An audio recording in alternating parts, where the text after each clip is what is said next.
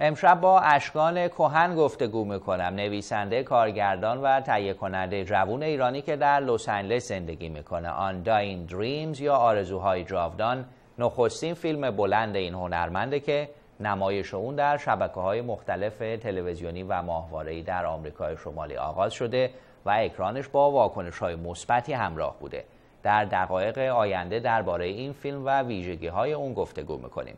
اشکان کهن به سلام می‌کنم و درود میفرستم. مرسی از اینکه در لس آنجلس با ما همراه هستی. خواهش می‌کنم. مرسی بهنود جان. ممنون که این وقت رو به من هم دادی که راجع به این فیلم صحبت بکنم. اشکان در ابتدا مقداری درباره خودت صحبت کنیم تا بیننده ها بهتر باد آشنا بشن. از چه زمانی تصمیم گرفتی به صورت جدی بری سراغ فیلمسازی؟ سینما برای چه جذابیتی داشت؟ خدمت درس کنم بهنو جان من علاقه زیادی داشتم به سینما از سالهای خیلی دور اما باید بگم که از حدود 6 یا 7 سال پیش بود که جدا این کار رو شروع کردم و از اون موقع تا به حال دارم انجام میدم. به هر به صورت مختلف و به نحوهای مختلف با فیلمسازی درگیر هستم. آیا دوره خاصی رو پشت سر گذاشتی کلاس رفتی؟ درباره دوران ابتدایی کار صحبت کن چه تجربیاتی داشتی؟ من یه دوره سه سال و نیم بازیگری و کارگردانی رو دیدم پیش آقای ویلیام آلدرسون که من ارادت خاصی نسبت به ایشون دارم و همیشه اسمشون رو میگم به عنوان استاد خودم. ایشون حدود چهل سال دستیار آقای مایزنر بودن و آقای مایزنر باید بگم که به همراه آقای استراسبرگ و خانم ادلر این سه نفر از بنیانگذارای بازیگری نوین آمریکا و به یه نحوی کل دنیا بودن. و خب سه سال نیم با ایشون من دوره دیدم و بعد از اون هم کارهای چند تا شورت کردم و این کار آخرم که یک کار فیلم طولانی هستش. اشکار من می‌خوام برای اینکه بیننده هایی که در ایران هستن کمی بیشتر با دوره های آموزشی که در آمریکا از آشنا بشن ازت بخوام یه مقداری در این باره توضیح بدی. این دوره هایی که ازش صحبت می‌کنی شامل چه چیزایی میشه؟ چیا بهتون یاد میدن؟ برای من مهمترین چیز بازیگری بودش و کارگردانی. و این دوره که من دیدم دوره بازیگری بیشتر focusش رو بازیگری بود و کارگردانی. اما دوره های اکادمیکی که مثلا توی university هستش خب اون دوره ها یه مقداری متفاوت هستش. برای اینکه اونا تاریخ سینما رو درس میدن و خیلی به background و سابقه سینما می‌پردازن ولی این دوره‌ای که من خودم دیدم بیشتر focusش روی بازیگری بود و کارگردانی و چیزی بود که من خودم ترجیح دادم انجام بدم.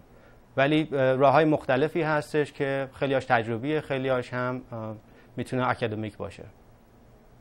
به هر حال از نظر حرفه‌ای بازیگری و کارگردانی تفاوت‌های زیادی با هم داره. تو خودت بیشتر به کدوم سمت جهت داری؟ آیا می‌خوای کارگردان بشی یا بازیگر؟ من خودم به, به شخصا دوست دارم که کار کارگردانی رو انجام بدم. اما بازیگری هم برام یه کار قشنگی هستش و اگه فرصتی پیش بیاد انجام میدم. ولی بیشتر فوکس هم الان در حال حاضر کارگردانی هستش. به فیلم جدیدت بپردازیم آنداین دریمز یا آرزوهای جاودان. یه مقدار درباره داستانش صحبت کن به صورت مختصر به چه موضوعی می‌پردازه؟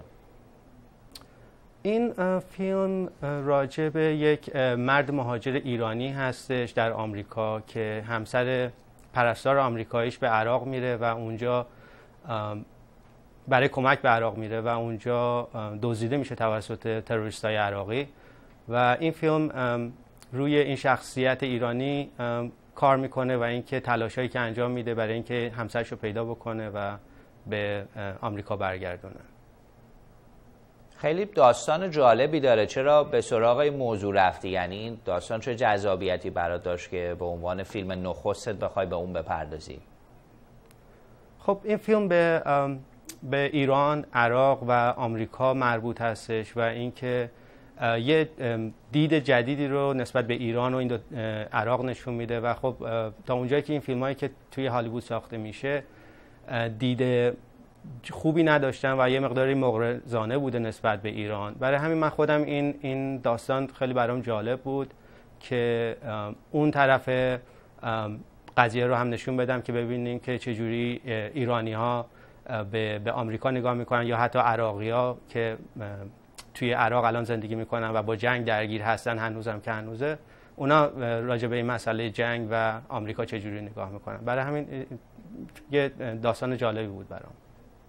به حال به سه کشوری اشاره کردی که در طول سالهای مختلف حالا به دلایل متفاوتی با هم مشکل داشتن. ایران، آمریکا، عراق. نگران این نبودی خیلی قضیه جنجالی بشه دل مشغولی نداشتی؟ خب چرا؟ خیلی خیلی نگران کننده بودش برای اینکه ما توی دو تا کشور مختلف فیلم برداری کردیم آمریکا و اردن رفتیم. اون قسمت عراق رو توی اردن فیلم برداری کردیم.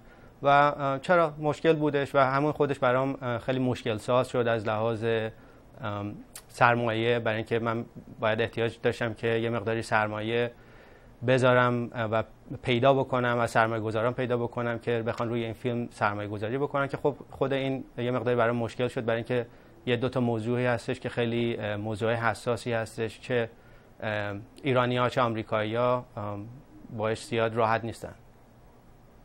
چرا این اسم رو برای فیلمت انتخاب کردی؟ Undying Dreams یا آرزوهای جاودان؟ برای خودت چه معنا و مفهومی داره؟ دلیلی که من این اسم رو انتخاب کردم این بودش که خب مسلما به داستان این فیلم ارتباط پیدا می‌کنه که نمی‌خوام وارد جزئیات بشم که اون جذابیت رو از بیننده بگیرم اما ما همه انسان های آرزوهایی داریم که به خاطر اونا زندگی می‌کنیم و خب شخصیت اول این فیلم یه شخصیت مهاجری هستش و من فکر می‌کنم که مهاجرا یه مقداری آرزوهاشون شاید قوی تر باشه یا به خاطر اون آرزوها یه مقداری بیشتر سعی و تلاش می‌کنن و خب به خاطر این دلیل بود. به طور, به طور کلی اگه بخوام این رو خدمت درس کنم. اشکال می‌خوام درباره شخصیت های داستان صحبت کنیم. چطور اونها رو خلق کردی؟ آیا آشنایی قبلی با اونها داشتی؟ این کاراکترها چطور در اون بستر داستانی فیلم شکل گرفت؟ خب مسلما به عنوان نویسنده و کارگردان این فیلم من شخصیت ها رو به خوبی میشناختم. یعنی backgroundشون رو می‌دونستم سابقهشون رو می‌دونستم. می‌دونستم که چی می‌خوان تو زندگی چی کار می‌کنن و به کدوم سمت می‌خوان برن حتی چی میپوشن چه جوری حرف می‌زنن خب اینا برام تقریبا خیلی روشن بودش.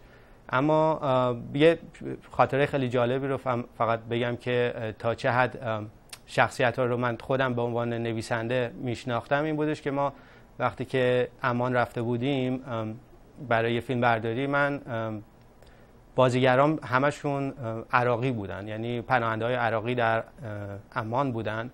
و یکی از این بازیگران من یه صحنه باش داشتم که باید بهش تقریبا سه صفحه کامل دایلاگ بود که باید اینا رو از حفظ می‌کرد. من اینا رو بهش دادم گفتم که تو برو اینا رو همه رو حفظ بکن و هر وقت که حفظ کردی بیا با هم دیگه تمرین می‌کنیم یه مقدار کوتاهی و فیلم برداری می‌کنیم. ایشون رفت و تقریبا یه یک ساعت بعد برگشت گفتش که من حفظ کردم اینا رو همه رو. گفتم چجوری امکان داشت که اینو حفظ کنی در عرض یک ساعت؟ گفتش که من اگر توی این موقعیت بودم به عنوان یک عراقی همه اینا رو من خودم می‌گفتم. یعنی چیز غیر عادی برای من نبود و همه اینا حرفاییه که من به عنوان یه عراقی توی اون موقعیت می‌زدم. و خب این برای من خیلی جالب بود برای اونم خیلی جالب بود. برای اینکه خب ما که از آمریکا رفته بودیم اینجا و منم که خب سابقه ایرانی داشتم به هر حال اون حرفایی رو زده بودم که یه عراقی توی اون موقعیت می‌زد. نکته جالبی رو اشاره کرده یعنی حضور تعدادی بازیگر عراقی در این داستان. چه واکنشی داشتن وقتی با هم آشنا شدید یا برخورد کردید؟ یا پیشنهاد بازی در این فیلم رو دادی؟ به خصوص که شما به کارگردان آمریکایی ایرانی تبار هستی. چه احساسی داشتین در اون لحظه؟ خیلی جالب بود برام. خیلی خیلی آماده بودن که صحبت بکنن. اصلا حالا البته اینا پناهنده هایی بودن که توی توی اردن بودن. و خب فکر می‌کنم حالا یه مقداری فرق داشتن. من مطمئن نیستم ولی به هر حال خیلی آماده بودن و میگم خب ما اون sideی رو که نشون دادیم اون طرفی رو که من نشون دادم توی این فیلم یه مقداری متفاوت هست از اون چیزی که هالیوود به صورت general نشون میده. برای همین خب براشون خیلی جالب بود و به راحتی با هم دیگه ارتباط برقرار کردیم. اشکان این نخستین فیلم بلند داستانی توه و در این فیلم خب صحنه های حادثه‌ای و اکشن هم هست. فیلمی که تولیدش دردسر و زحمت زیادی داره. نگران این قضیه نبودی؟ آیا این سینمای اکشن اون چیزیه که خودت بهش علاقمند هستی؟ سینمای اکشن چرا؟ من خودم علاقه خیلی زیادی بهش دارم. یعنی اون چیزی است که من می‌خوام کار بکنم و تمام فیلم هم, فیلم هم که الان روش کار می‌کنم همه اکشن هست. کار بسیار سختیه خیلی مشکل تره به خاطر اینکه خب لوکیشن های بیشتری داره و سرعت داستانگویی فیلم بیشتر هستش. ولی کار جذابیه به نظر من و من really من خیلی دوستش دارم. درباره شهرها یا مکانهایی که در اونجا فیلم برداری کردین توضیح بده. به کجاها سفر کردین؟ چقدر طول کشید و با چه مشکلاتی روبرو شدید موقع فیلم برداری؟ ما یه قسمتی از فیلم رو توی لس آنجلس فیلم برداری کردیم. یه مقدارش هم خارج از لس آنجلس پالمدل اریا فیلم برداری کردیم. بعد رفتیم اردن امان و چند تا شهرک پناهنده های فلسطینی و عراقی اطراف امان اونا هم یه مقداری هم اونجا فیلم برداری کردیم. مشکلات زیاد بود ولی خب خوشبختانه کمیسیون فیلم یا فیلم کامیشن اردن به ما خیلی کمک کرد خیلی کمک کرد و ولی به هر حال بازم میگم مشکلات خیلی زیاد بود. یعنی ما رفتیم توی شهرک های مخصوصا شهرک های پناهنده های عراقی و فلسطینی که می‌رفتیم همیشه این ترس بودش برای اینکه محافظی ما نداشتیم با خودمون و همیشه این ترس بود که یه کروه آمریکایی که همه اکثرا بلاند هم بودن و با این تجهیزات ما اونجا رفته بودیم خیلی مشکل بود. من یادم حتی این دستیار فیلم بردارم یه موقعی شوخی می‌کرد می‌گفت چون ما کمرایی که داشتیم اون نسل اول رد کمرا بود یه مقدار بزرگ بود و مثل این موشک پرتاب کنا بودش. و من میگفتش که الان از دور ما رو ببینن با آر پی جی یا ممکنه بزنن یا ممکنه با تیراندازی کنن بهمون. این ریسکا رو داشت و منم به عنوان مسئول این گروه خب خیلی ناراحت بودم ولی به حال دیگه انجام شد و با سلامت همه برگشتیم. می‌خوام کمی درباره همین سفری که به اردن داشتیم صحبت کنیم. مثلا چطور کشوری بود؟ واسه تو دیدن این کشور تازه این سرزمین که در خاورمیانه است چگونه تجربه بود؟ چه خاطره ای داری؟ نکته ای هستش که بخوای با بیننده ها در میون بذاری؟ خاطره که خب از روز اول خاطره بود از پیدا کردن لوکیشن ها و جاهای فیلم برداری البته میگم کمیسیون فیلم کمیسیون اردن خیلی کمک کرد برای اینکه ایشون به ما یه نامه‌ای داده بودن که ما حتی تو فرودگاه مثلا تا دم هواپیما می‌تونستیم بریم که این فیلم بر این لوازم فیلم برداری رو بیاریم و توی تمام لوکیشن مثلا مسجد اصلی اردن ما فیلم برداری کردیم که کار خیلی بسیار سختی بودش. بعد جاهای تاریخی مثلا می‌رفتیم یا شهرک های پناهنده عراقی که از لحاظ میگم حفاظتی خیلی مشکل ساز بود. ولی خب همه اینا رو به ما اجازه دادن. ولی خب بازم خطرات خودش رو داشت مشکلات خودش رو داشت. من فیلم بردارم یه فیلم بردار خانوم ژاپنی بودش که ایشون بعد میبردیمش توی مسجد و خب ایشون محجبه. با اینکه محجبه بود می اومدن اعتراض می‌کردن مثلا وسط صحنه فیلم برداری و 5 نفر 6 نفر می اومدن که چرا داریم فیلم برداری می‌کنیم بعد بعد می‌رفتیم اون مسئول مسجد رو می آوردیم باشون صحبت می‌کردن. باز دوباره از اول همون داستان از اول. خب هر شات ما شاید مثلا 20 تا 30 تا تک باید می‌گرفتیم که این مردمی که به حال می اومدن اعتراض می‌کردن که چرا یه خانم تو مسجد اومده توی قسمت مردونه مسجد. خب اینا مشکلاتی که مشکلات زیاد بود اینجوری. مثلا می‌رفتیم توی شهرک های پناهنده عراقی بعد خب جمعیت خیلی متراکمه. یه دفعه می‌دونیم 500 تا بچه دور کامرا و کرو ما بودن و می اومدن وسط سین یه دفعه خراب می‌کردن.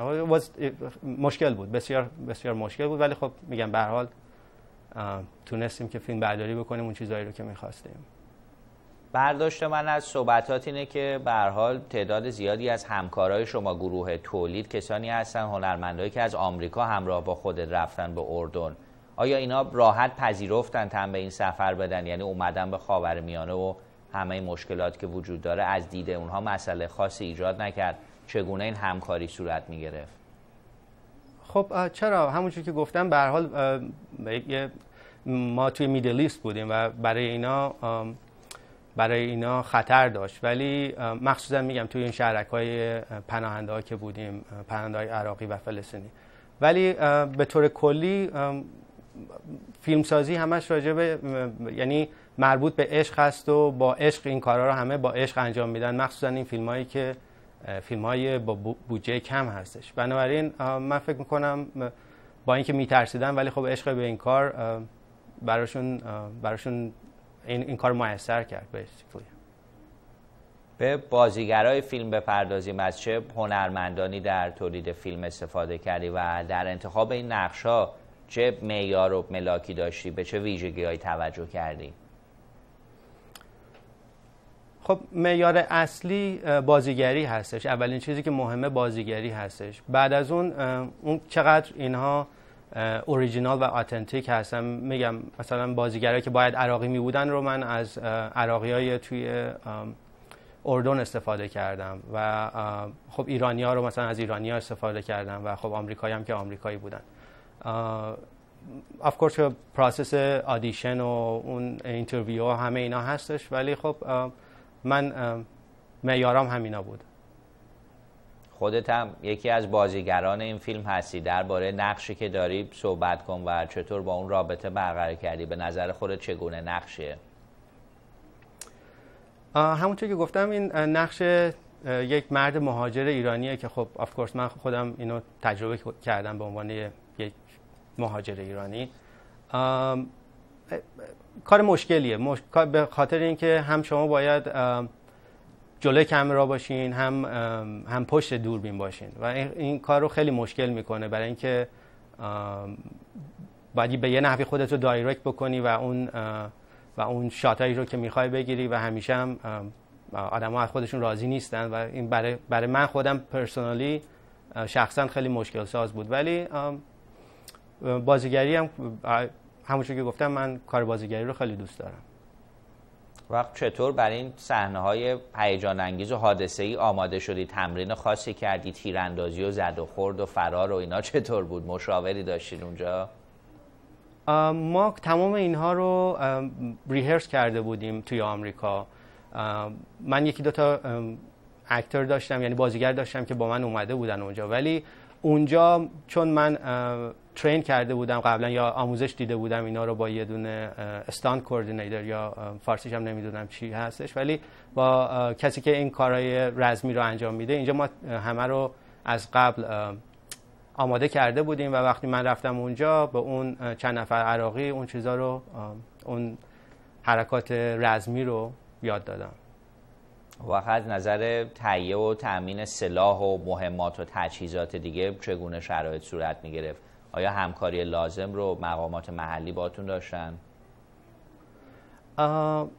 بله خیلی داشتن میگم همون فیلم کامیشن اردن خیلی به ما کمک کرد و ما چند تا صحنه داشتیم که بیرون از بیرون از چون صحنه‌ای که داخل ساختمون بود خب مشکل خاصی نبود ولی چند تا صحنه داشتیم که بیرون از ساختمون بود و خب ما تیراندازی می‌کردیم و شب بودش و گروه های یه چند تا گروهی که مربوط به حفاظ سازمان اطلاعات اردن بودن نمی‌دونستن که ما داریم فیلم برداری می‌کنیم.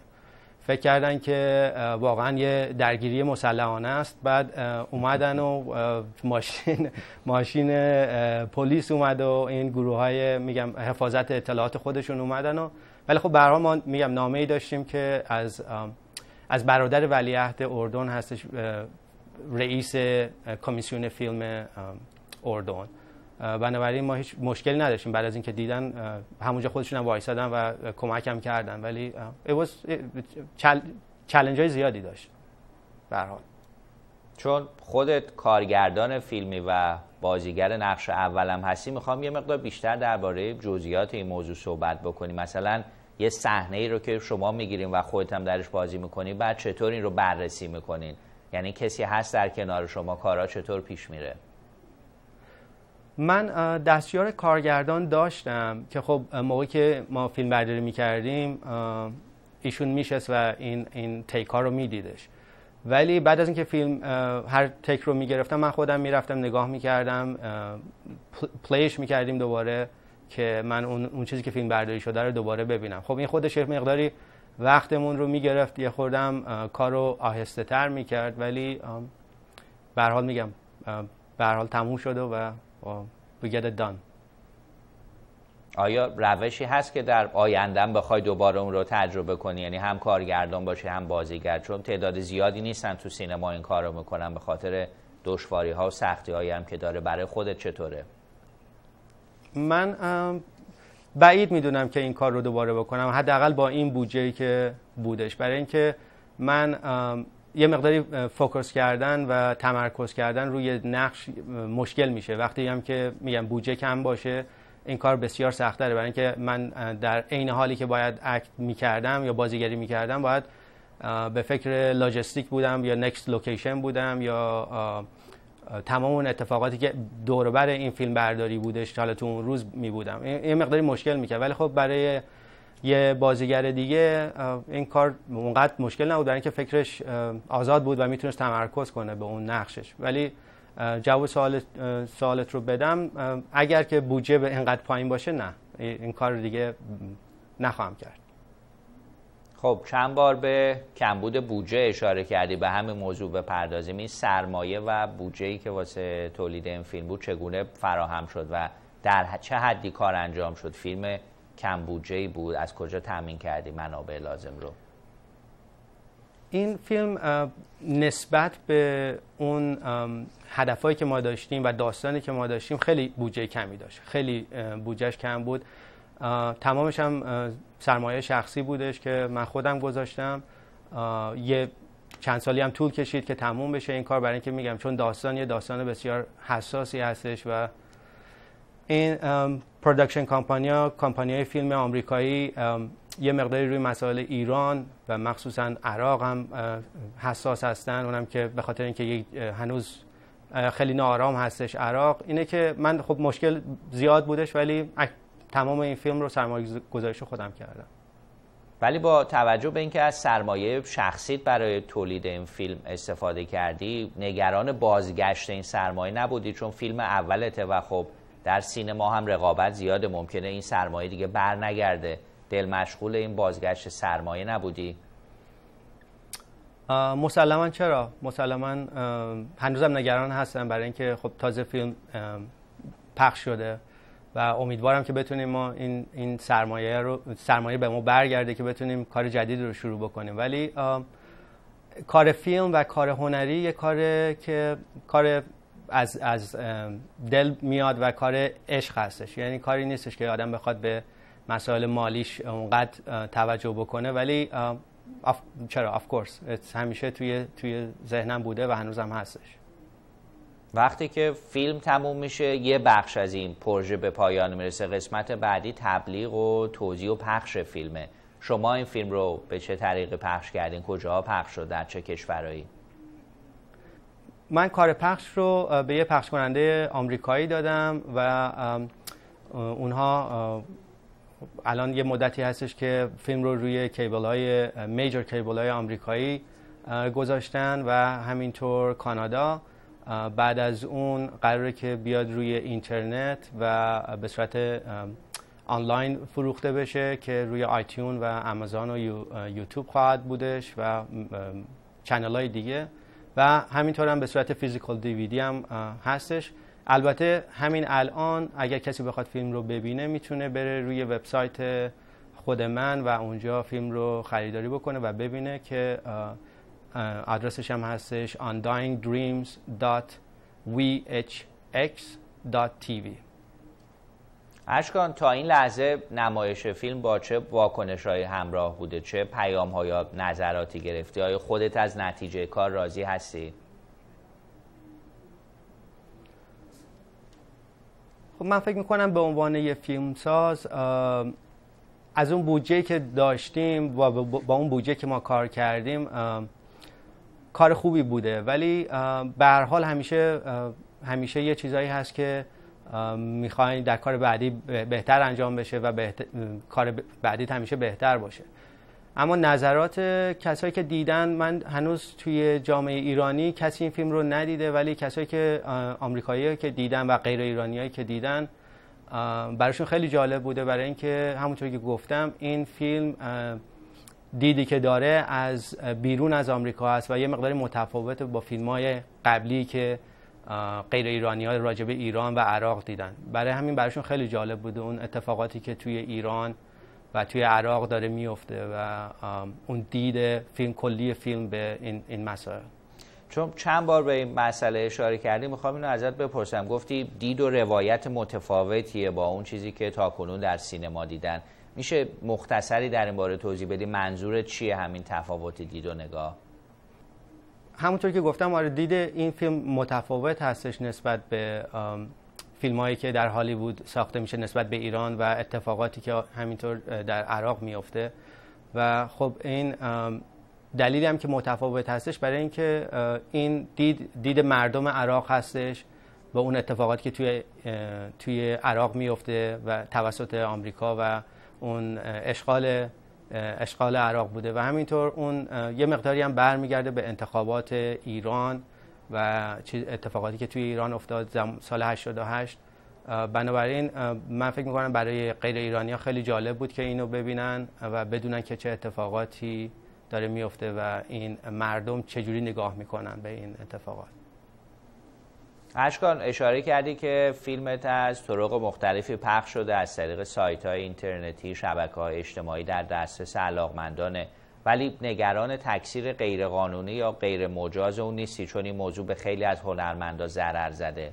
تو در این باره چه نظری داری؟ خب چرا؟ خیلی خیلی نگران هستم و خب اینم برمیگرده به همون مسئله سرمایه گذاری برای اینکه تمام سرمایه این فیلم رو خود من گذاشتم. و من فکر می‌کنم که این به حال برمیگرده به هر شخصی به وجدان اون شخص که این فیلم رو اگر می‌خواد ببینه یا حالا هر کار هنری دیگه رو اگر موسیقی باشه یا فیلم باشه برمیگرده به وجدان اون شخص که اگر می‌خواد اون کار هنری رو ببینه یا بشنوه یه بهایی داره که باید اون بها رو پرداخت بکنه. خب حالا اگر امکانش وجود نداشته باشه مثل کسایی که توی ایران هستن اون داستانش فرق داره. ولی برای کسانی که توی آمریکا هستن و یا کشورهای اروپایی و جایی هستن که می‌تونن این فیلم رو بخرن یا هر کار هنری دیگری رو باید این کار رو بکنن. برای اینکه می‌دونیم که و دیدیم که خیلی از فیلم های مست...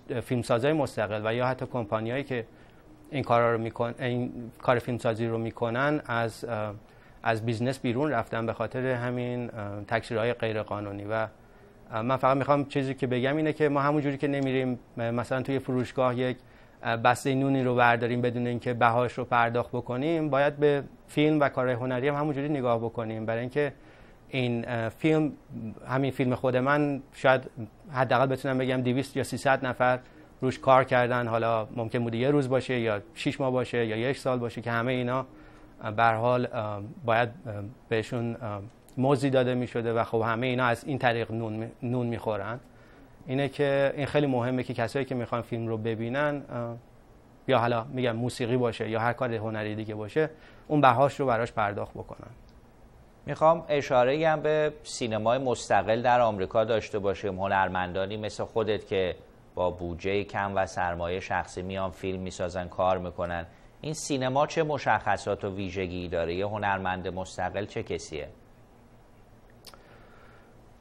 هنرمند مستقل خب هنرمندیه که دیدش دید مستقلی باشه.